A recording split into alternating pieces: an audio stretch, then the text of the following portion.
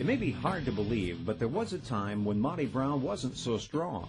I think his interest in athletics probably started around the age of seven. And we would we would work out. I would try to lift weights, and, and then I got him to, to lifting weights. And you don't have a seven year old do a whole lot.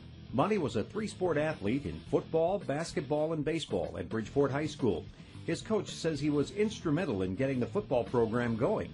He wanted to be a conference champion. That was his goal. So he took it upon himself to take care of all the kids. He got them all together.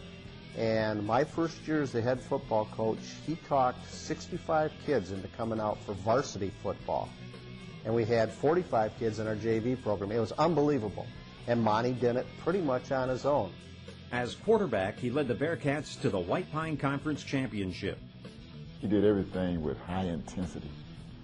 You know, very high intensity. You know, it didn't matter if it was in the classroom or or, or if it was on the football, basketball, or baseball field. You know what I'm saying? He just gave, you know, he gave everything he had.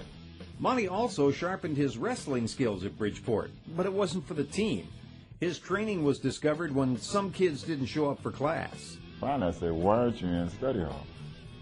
And one of the players didn't have an answer for it, but he he waited for a little while till there wasn't nobody around. He says, "Coach, we want to go to study hall, but what is going on is that Monty's taking us down to the gym, to the locker room, and he he makes us go in the locker room, and he gets on top of the lockers and he jumps down on top of us, like like he was wrestling all time."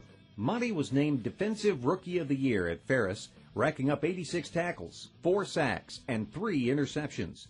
He was moved to linebacker and graduated with 584 career tackles and 16 interceptions, all Bulldog records. When you go from Bridgeport to Ferris to the NFL, it's, it's, a, it's a dream come true. And, and not only that, but it was a walk on. It was a walk on that, that beat out six guys that were drafted.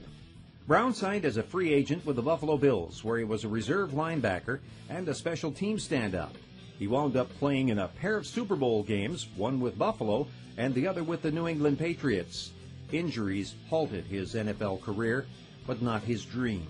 Monty Brown was a force on the gridiron, playing in two Super Bowls for the Buffalo Bills and the New England Patriots.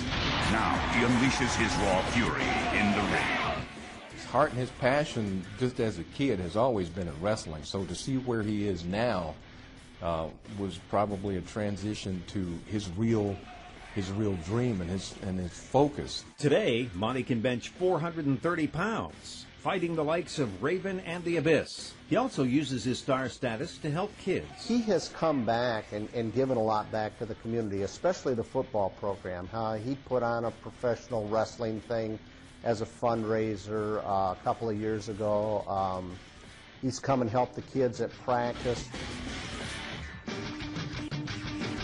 if you really said what, what would he want his legacy to be, I don't think his legacy would have any focus on on his own accomplishments. I think his legacy would be what did I do and whose life did I impact in the positive way.